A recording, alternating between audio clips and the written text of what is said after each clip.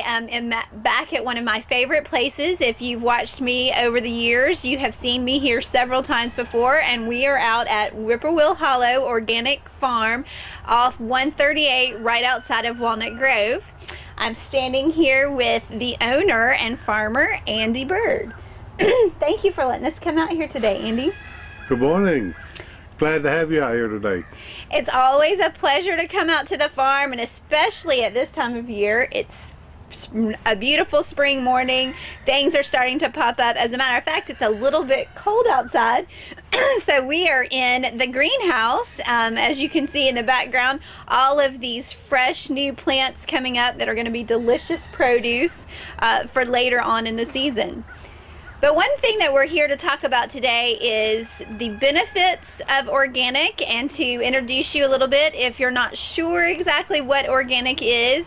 Um, it's a buzzword that most everybody hears these days. You see it in the grocery store now. It's becoming a lot more common than when I used to come out here and it was like, organic what?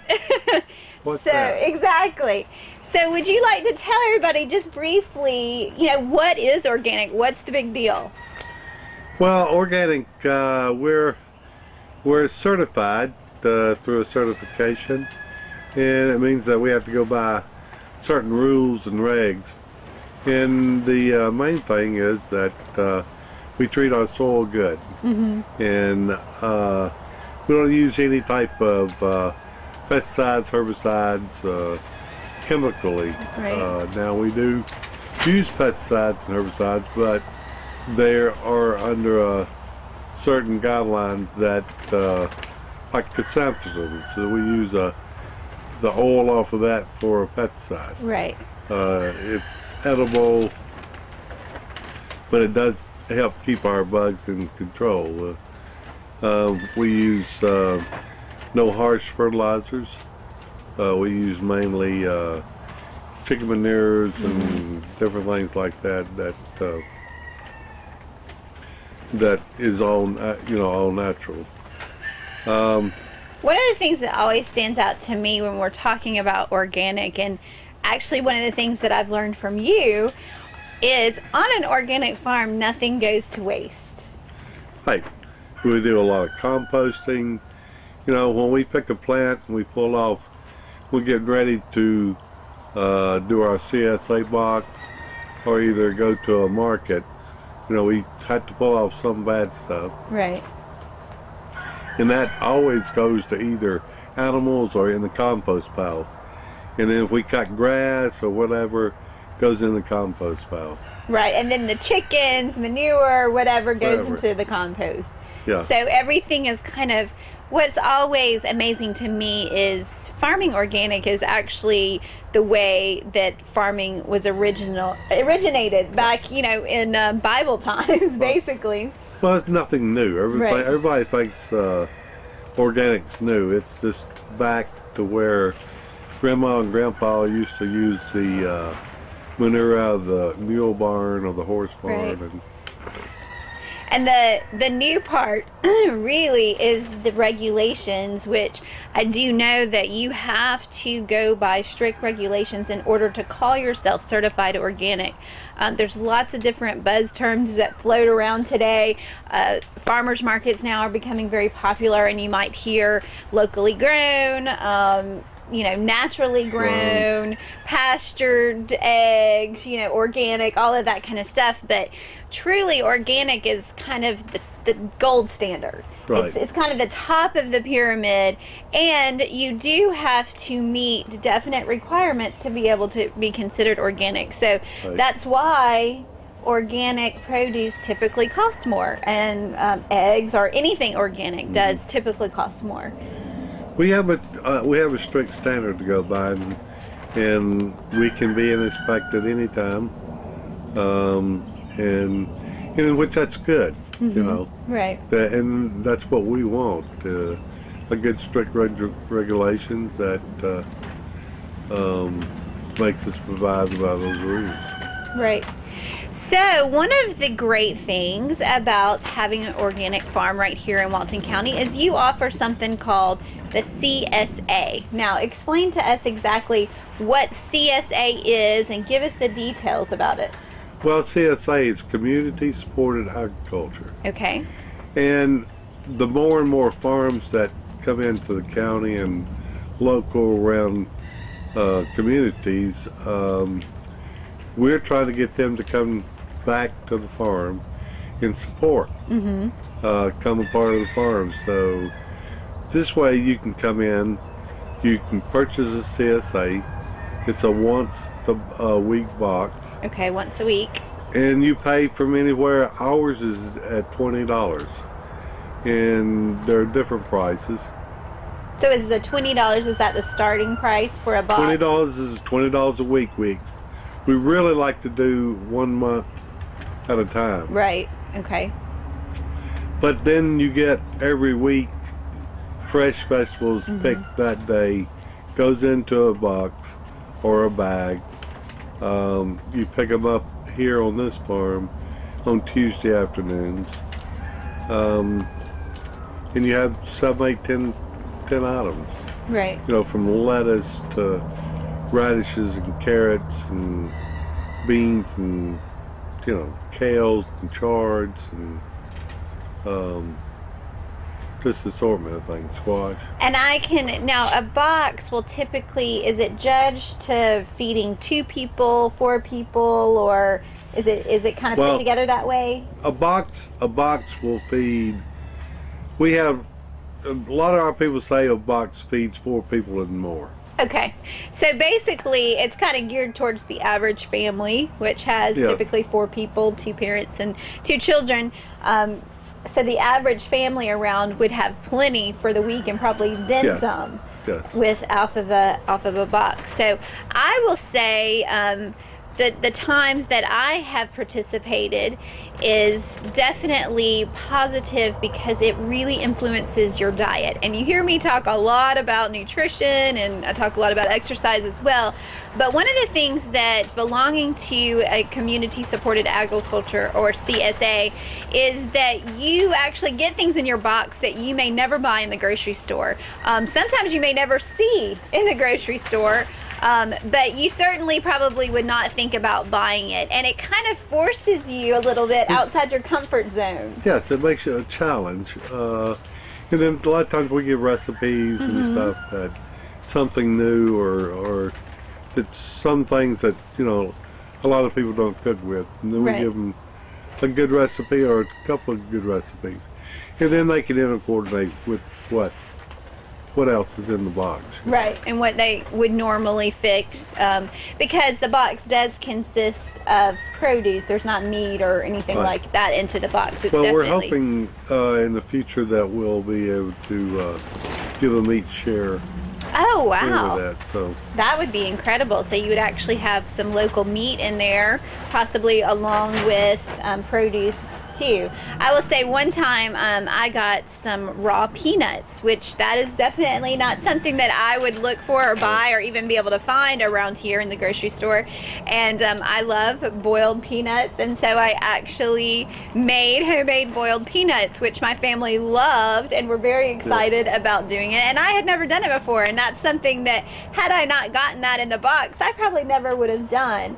Um, also, uh, that's what got me to start eating kale. I had never eaten kale, got it in a box one time, and was like, oh, uh, what do I do with this? And then it forced me to do a little bit of research, and like you said, find some new recipes, and then mm-hmm. find all kinds of new ideas um, that really makes it healthy for your family and also right. spices up dinner, which you get in a rut cooking the same old same things. Old, old.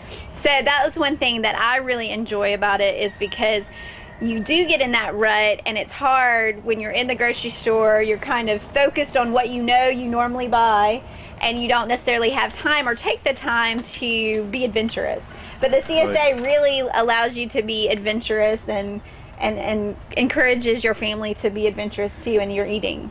And another thing, when you buy local and it's fresh, and as a lot of our chefs that, that I sell to, you know, you don't have to do much with it. Right. That's true. You know, the flavor. It's already got the flavor there. The flavor so is fresh. definitely different for sure, I can say. And even with organic, um, you can tell the difference in, in the flavor of things for sure. Um, because you know you're getting what's in season, which makes a huge difference. We, Right. We've gotten away from seasons um, because we have year-round grocery stores that sell everything, whereas used to when there wasn't the um, industrial type grocery stores as we have now, where we have the industrial farms and stuff. Uh, you actually did have to eat on season when you grew your own food a long time ago. So, um, so we've gotten away from even really knowing what is seasonal. Unless you plant a garden, you have a little bit better idea of what actually is in season. So it makes such a difference. Organic and then also eating in season makes a Right. huge, a huge difference. So. Um, well, let's talk about definitely the CSA is something that I would encourage everyone to check into. And um, what if they just wanted to try it for a week? Is that okay? Or um, and then see if they like it, see if it's for them that they could just try it out and then come Like back. for a and- week, it's fine. okay. And so, how would they go about saying, "I want a box this week"? Well, they would have to come to the farm and um, fill out a form, Okay. and that uh, we get their info, their address, their telephone number, um, their email, and um, we set them up what date, what time. So, does everybody pick up on Tuesdays, or are there different times? Or Right now, everybody picks up on Tuesday. Okay. As our, as our, uh, as we get bigger, you'll, there'll be two. Okay. Two then there, then there'll be a couple of pickups. And then we try to offer like Oxford. We have uh, a lot of the professors and stuff down there. Mm-hmm. They pick up, so they send one, one out Right. and picks up everybody's. That's a You good like- idea. Like we got a lot of people in Monroe, then one would come out and make another delivery. Uh, Snellville's the same way, you know. Right. So that is definitely a good idea. This could be something if you wanted to do it with a bunch of friends, um, or if in a workplace, if you wanted to get some coworkers together, then it could be the possibility of several people. You know, then you can take turns picking up. So, because I know sometimes, you know, with our overly busy schedules, people are like, "Oh, I don't know that I would be able to get out there every week or something." But if you can work it where you're kind of carpooling with people, that would work really well and then you can share in the responsibility of actually picking it up. So, so if you're interested in the CSA, you would actually come out to the farm and uh, fill out a form, and uh, then you would be able to sign up to start getting a box. So, I really encourage you to do that. Um, all right, what about some other events? Now, you have some other great events, and of course, we're going to get to my favorite one, but first, let's talk about some of the other event- events that are coming up out at the farm. Now you have the um, the Indian, what is it called? The American powwow. The American Powwow. And what exactly is that? Uh, it's a Native American powwow. They come and do their ceremonial dancing. Uh, they have vendors, and they do uh, the ceremonial dance with their regalia and stuff. Oh wow! So you can So actually come in April. in April. So this month, actually. Um, do you do you happen to have the date or Uh, I think it's going to be the third weekend. the third weekend? Okay, so that's coming up very soon, um, in April. So can they check online? Is there somewhere that Yes. they can check? They can go to my um, uh, website, Okay, is that and that's Whippoorwill Hollow Organic Farm. Whippoorwill, Whippoorwill Hollow Organic Farm.com? dot com. Okay, so that you can find out the information about the powwow. And um, unfortunately, I've never been able to attend that, but from what I hear, it is something very interesting to see. Yeah, it's, a quite very show. good experience. Um, Now, is there an admission fee for the powwow? The admission fee is uh, three uh, five dollars for adults, three for children over twelve, and um, seniors is three. And three. Okay, wow. So that's actually a It wonderful is a very deal good price was. to, to be able to come out and actually witness something that you would not normally be able to see around here for sure. Um, okay, so let's talk about my favorite event, which I'm sure I'll be back out here when it gets closer to the time, so that we'll be talking about it again. But I just want to go ahead and whet your appetite for this event that's coming up at the end of September called Field of Greens. Yes. This will be our seventh Field of Greens. Wow. In Field of Greens, we started out with Field of Greens, and uh, we were just wanting to put together a couple of chefs and have some friends out, Right. and kind of support local grown, and and um, we had you know a couple of farmers that supplied for them, and then you know we we decided this was a good way to get the uh, the people out to try a lot of new different restaurants. So now our field of greens went from about 150 the first time. Uh, last year we had over 2,000 people. Wow. Wow, that is incredible. And I could definitely say that it is an incredible festival. If you love food, that is what the festival is about, is about food. And um, as Andy said, there's tons of people here. There's the chefs that actually cook and you get to taste all these different um, wonderful combinations straight from the farm of different restaurants that are all over Atlanta and some come from Athens as well. And then not only that, but there's also wonderful vendors here that are all surrounded around locally made stuff, um, handmade stuff, or health type um, Right. associated vendors. And then there's some great kids activities too. There's always a kids village that have kids activities and then vendors specifically for kids.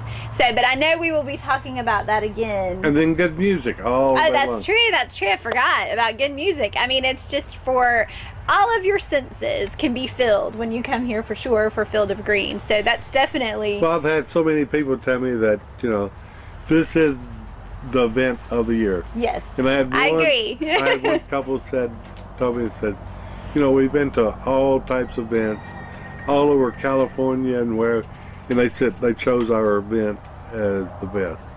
Wow. And I, I would definitely agree. The organization of it and everything. So, as you can see, we actually having Whippoorwill Hollow Organic Farm here in Walton County is a great treasure for us. It provides us a lot of opportunities that we might have to drive a little further to take advantage of, like the festivals and the wonderful produce. So, I encourage you to check out Whippoorwill Hollow Organic Farm.com and find out all of this kind of information. And as always, you can get in touch with me if you have questions or want more information. You can always find us on the web at waltonwellness.org. You can email me um, through the website, or you can get me the old fashioned way on the phone at 770 856 1251. Thanks And for. gonna- Oh, sorry. I was going to say, uh, our cost on the uh, Field of Greens is 25 uh, a ticket, but uh, you get tastings of 40 chefs. Um, and uh, just a great time. It's an opportunity to come out, visit all the chefs, talk to the chefs, and then you can make your mind up for the rest of the year. Exactly. What restaurant do I want to go to, you know, Right. this weekend? And that's exactly what I do. I don't get to go out very often with two young children and stuff, but we come here and then we get to taste. And during the year, we have special occasions and we will go visit the restaurants that were actually here. That's been kind of a tradition of ours. So thanks for letting us come out today. And my number is 770 601 0110. Okay, and we will put that on the screen too. So thanks for letting us come out and sharing your farm with us this morning. Okay. And um, thank you for watching.